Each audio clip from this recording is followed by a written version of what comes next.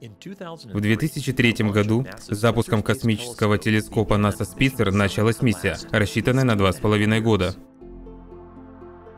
13 лет спустя работа Спицера зашла гораздо дальше первоначальной миссии.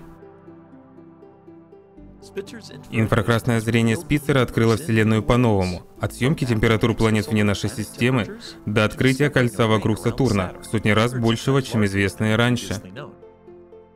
Телескоп также обнаружил в космосе крошечные молекулы фуллерена и создал 360-градусную инфракрасную панораму Млечного Пути.